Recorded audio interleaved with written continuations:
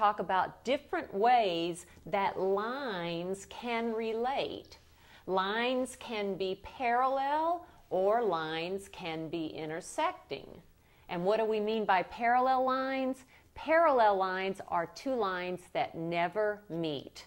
So here's an example of two lines that are parallel lines. And I'm approximating this. That's basically what parallel lines look like. I can call this line P and line Q. And line P and Q are parallel lines. They never meet. And I can write that using this notation. P is parallel then to Q. So lines can be parallel or lines can basically intersect. And of course, two lines intersect in one point.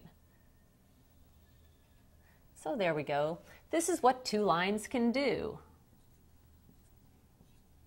These two lines, we'll just say they intersect at point A. So parallel lines, intersecting lines. Also, let's talk about some special lines called perpendicular lines.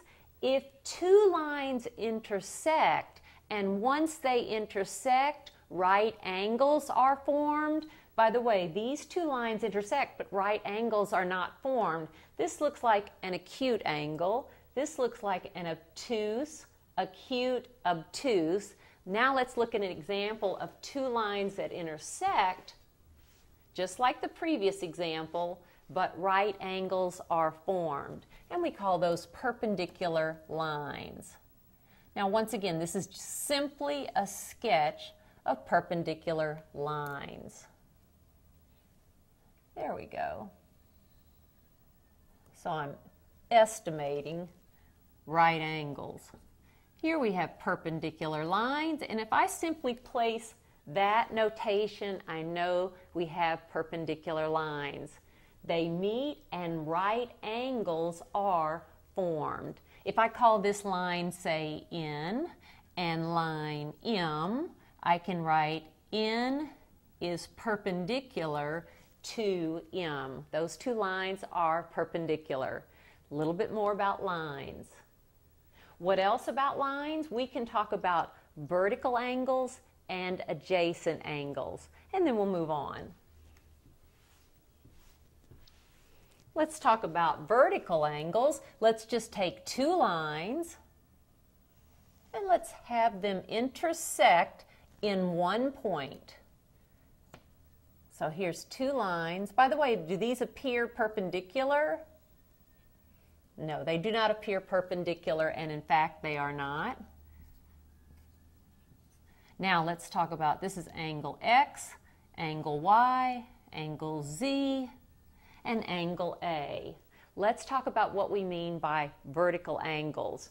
When two lines intersect at a point, vertical angles are formed. Vertical angles lie opposite each other. In other words, angle X and angle Z are vertical angles. Angle A and angle Y are vertical angles. What's so interesting about vertical angles is that they have the same measure.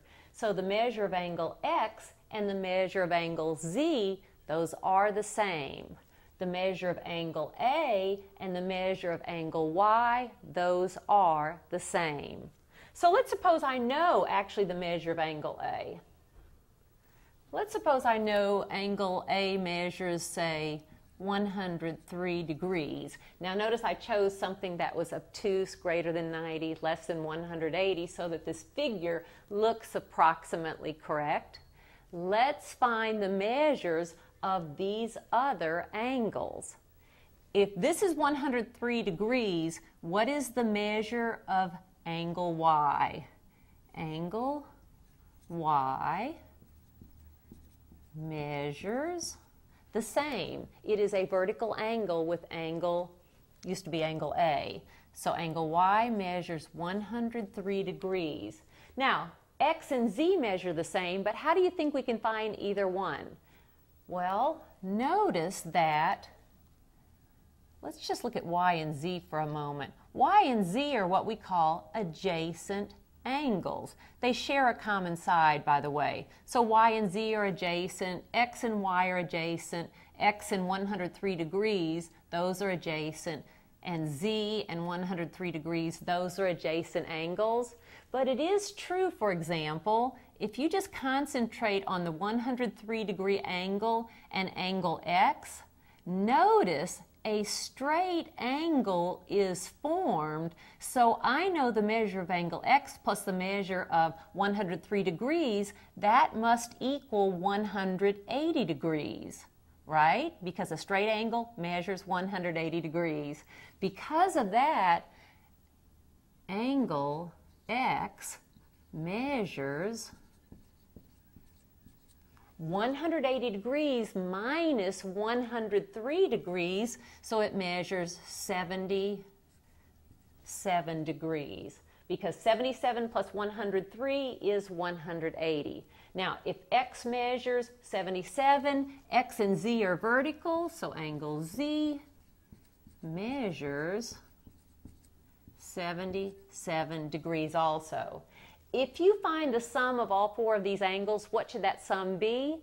It actually represents a full revolution, so that sum should be 360 degrees, and it will be.